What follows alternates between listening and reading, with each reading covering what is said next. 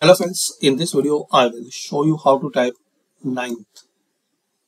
You know you want to type this way, 9 and th is smaller.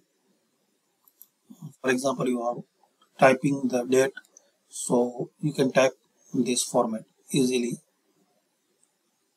You don't need to any do anything, just to type 9 and th, okay? 9 th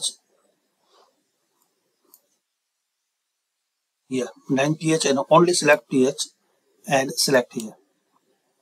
Yeah. So this is the quick way guys. You can type this uh, 9th ninth. And th above the line.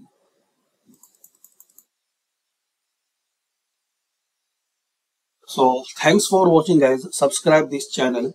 You will find guys almost 1000 videos in this channel related Microsoft Word and every video is unique and hopefully you will learn so many things related Microsoft Word. So this is a actually free course. If you watch all videos and you will find a playlist so you will learn from beginning to advanced. Some video is very beginning and some videos are very advanced. And still you are facing any problem or you have any query question so comment. And show your love and support my channel by subscribing and share your friends okay? See you